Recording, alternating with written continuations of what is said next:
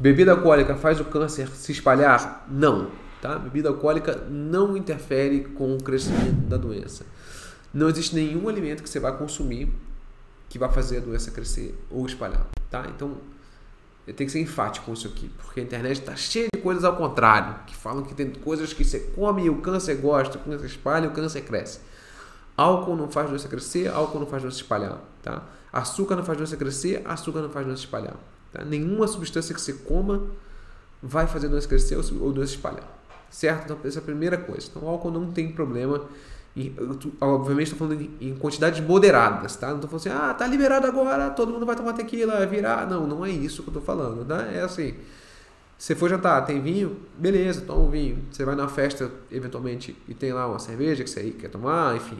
Até a caipirinha você quer tomar, tá bom, toma, não tem problema, tá? De maneira moderada, tudo na vida de maneira moderada, ou a maior parte das coisas na vida de maneira moderada, ok, tá?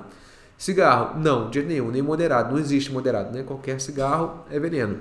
Comida, álcool é veneno? Não, não é, tá? Então, ah, você vai ver, ah, mas álcool é cancerígeno, é, tipo um lá do OMS. Ok, sim, álcool e cigarro junto é super cancerígeno, tá? Para cabeça e pescoço. Onde encosta o álcool e onde encosta o cigarro junto, né? A fumaça. É, álcool isoladamente aumenta muito o risco de câncer? Não me parece. Tá? Tem dados lá da OMS, tem gente que é muito terrorista com isso, fala que não pode nem uma gota. Não acho que é uma coisa. Não acho sim.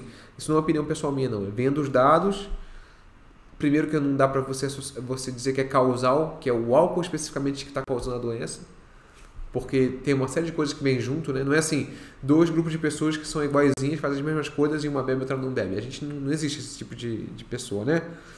É, quando você vê o cara que bebe muito álcool, em geral ele bebe muito álcool, faz pouco exercício, fuma, tem um monte de fatores confundidores, né?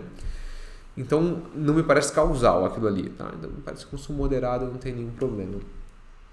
E é basicamente isso, tá? Então não, não tem nenhum problema eventualmente. Agora, não, como falei antes, não está liberado ficar enchendo a cara, virando cachaça e fazendo tequila, esse tipo de festa, tá? É com moderado.